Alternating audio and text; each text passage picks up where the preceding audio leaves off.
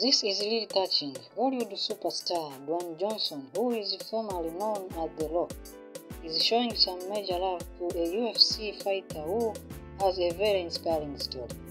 UFC fighter Themba Gorimbo recently gained a lot of attention after he opened up about chasing his dream while dealing with financial struggles, revealing that he only had $7 in his bank account before winning his fight at UFC Vegas 73.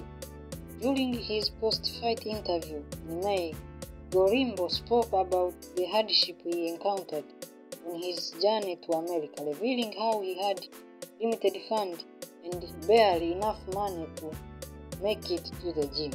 The Rock caught wind of his touching story and shocked the UFC fighter with a beautiful surprise. In a video posted to the Rock's Instagram, you can see the actor surprising Gorimbo and the two embracing each other with a hug. We have never met, but I had to fly to Miami to look this man in the eyes, hug him and shake his hand. I have been moved and motivated by his story.